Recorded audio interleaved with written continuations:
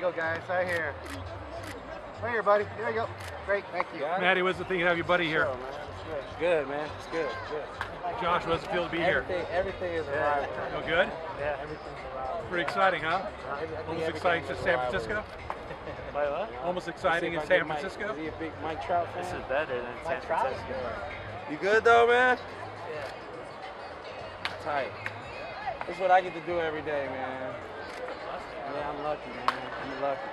I don't take it for granted, trust me. I don't take it for granted. It's one of the best players in baseball right here, man. What up, man? You good? Good. Good to see you, man. What's up, man? Like, I'm trying to get, lift some weight so I can be like him. How's everything going? He don't, like- he don't like the Angels, man. Can you guys squat down for a quick photo? Here we go. Here we go. Lean it, guys. There we go. Great. Thank you. It. Good to see you, man. All right.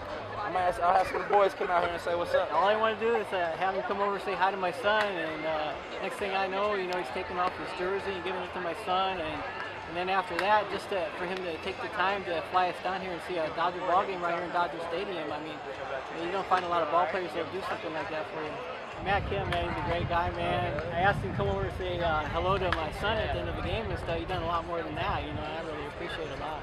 It's a dream come true for my son here. I mean, look at him. He doesn't even know what to say. What does it feel to be part of this story?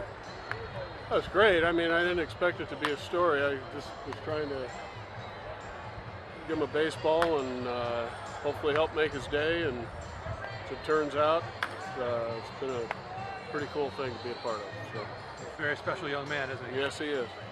Great family. They were very uh,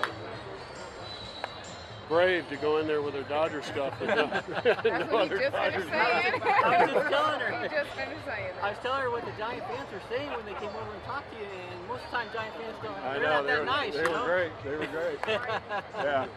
I thought I'd take care of the one Dodger, or the few Dodger fans that were over there. I didn't see many. I saw a lot of orange and black, so I thought I'd get involved with them. So, pretty neat. And I'm Stan Kasten. I'm the president of Dodger. Great to have you here. Your first trip to Dodger Stadium? You've been here before. Well, we're, we're happy to have you back.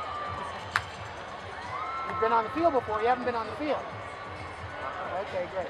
We value every Dodger fan, but this one is special. He's, I think Matt and even our teammates and all our fans know who Josh is, and it's just great to have him here. When we can help someone feel better in an extra special way, that's really important to us.